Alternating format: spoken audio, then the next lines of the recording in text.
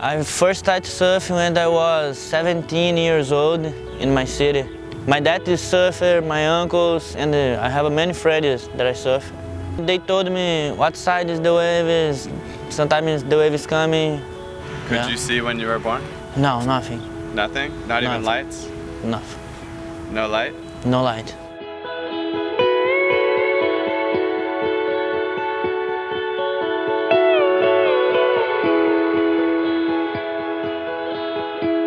My favorite part of surfing is I can make many friends and I can hear the waves, I can feel the ocean.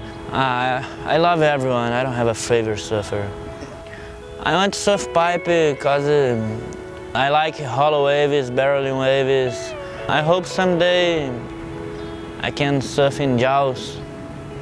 Maybe three years later, I don't know. First thing we need to, to have a faith and trust in God. I don't have a fear because uh, my determination is bigger than my fear.